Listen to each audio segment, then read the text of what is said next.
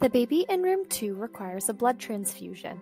When should I perform the newborn screen? I can help with that.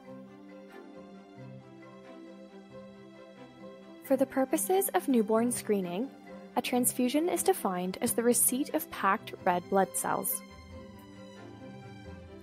You can indicate No for transfusion status on the newborn screening card if an infant has only received platelets or fresh frozen plasma.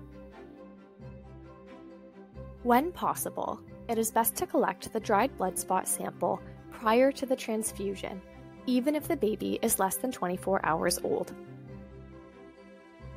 Blood transfusions affect the newborn screening results, specifically for hemoglobinopathies and galactosemia, as the donor blood interferes with the screen. If the pre-transfusion sample is taken less than 24 hours of age, a second sample is still required between 24 to 48 hours of life. NSO may request an additional repeat sample four to six months after the baby's most recent transfusion, for example, if the initial sample was unsatisfactory. NSO understands that it is not always possible to obtain a newborn screening sample prior to a transfusion. If a sample cannot be obtained before the transfusion, the sample should be collected between 24 and 48 hours of life. Additionally, a repeat sample should be obtained 4 to 6 months after the baby's most recent transfusion.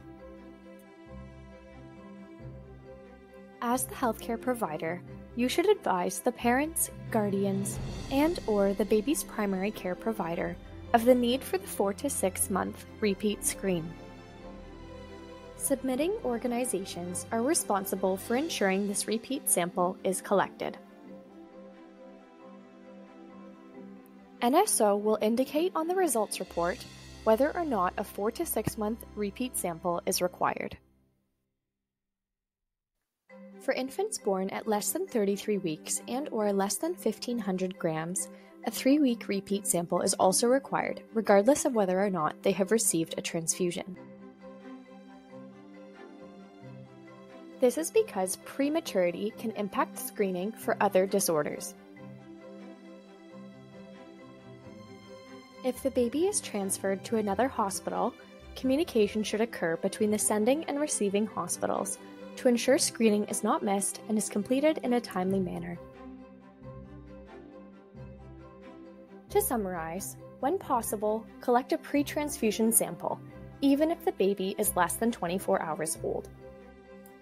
All infants need a sample collected at 24 to 48 hours of age, regardless of transfusion or prematurity. Extremely premature and low birth weight infants require a three week repeat sample to ensure sufficient screening for all diseases. A 4 to 6 month repeat sample may be required, and this will be indicated on the results report.